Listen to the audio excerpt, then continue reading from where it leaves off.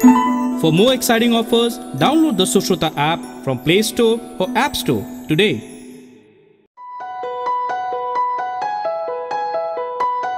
Hi, moms. Today we are back on Child and You for a special session with a pediatric ophthalmologist, Dr. Deepak Garg, a very close friend and a colleague of mine with tremendous amount of experience in kids' eyes. I'm Dr. Nihar Parekh, and today we're going to embark on a special journey that deals with your kid's eyes. When to get his first eye checkup done? What are the common problems? How do I know my kid has numbers? We're going to tackle these issues one by one so you're a smarter and a happier mom. A very common, common question. Boys, girls running around, playing football, cricket, swimming, running around in dusty places, windy grounds. A lot of them come with something stuck in the eye. Suddenly, out of somewhere, something going in the eye and is extremely painful. They come running back with the jet red, bloody eyes, watery eyes, and in severe pain. Can't even look at the light, can't even shut their eye, and they're crying. There are different injuries in the eye a foreign body going into the eye, certain types of injuries in the eye. Deepak, can you sort it out what kind of injuries are to be taken as a panic situation? What injuries need to be left alone? And what injuries need to be seen by a doctor immediately?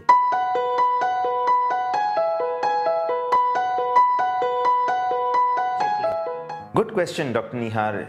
Injuries are common, but most important thing to remember is any sort of injury, however mild it may appear to be, has to be seen by an ophthalmologist uh, in the clinic. You know, you can of course call up an ophthalmologist and talk to him over the phone, but the ophthalmologist needs to examine the eyes.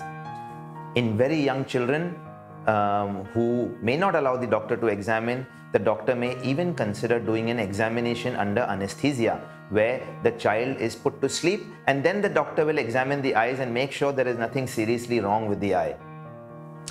Coming to the types of injuries, of course, the most common would be what you just mentioned, which is uh, a foreign body uh, going in the eye, a small piece of mm, a small piece of metal, a small piece of stone, sometimes a wing of a little insect that gets stuck in the eye and it causes immense amount of irritation, watering, itching uh, for the child. And this small foreign body needs to be removed in the clinic.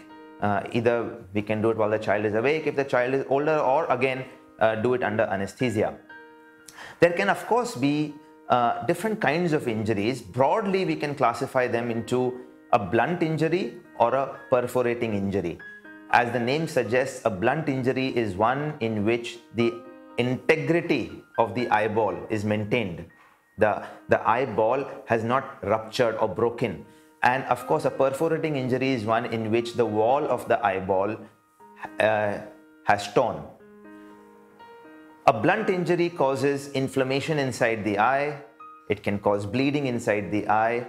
Uh, usually, blunt injuries are treated with medications. Uh, however, a perforating injury in which the wall of the eyeball has torn needs an emergency surgery. And uh, this, the importance of immediate treatment cannot be overemphasized. It is extremely important to get an eye examination and let the doctor decide about what is best for the injured eye. Here it is important, important for parents to remember that they should not try to remove a foreign object which has gone into the eye. They should not even try to put any eye drops on their own. All they should do is bring the child to the eye doctor let the eye doctor remove the foreign object and let the eye doctor decide which eye drop should be going in the eye. Tune into our channel Child and You for tips and guidance to raise a healthy child. Live now, live healthy, only with Sushruta. For any queries, you can write into us on or WhatsApp us on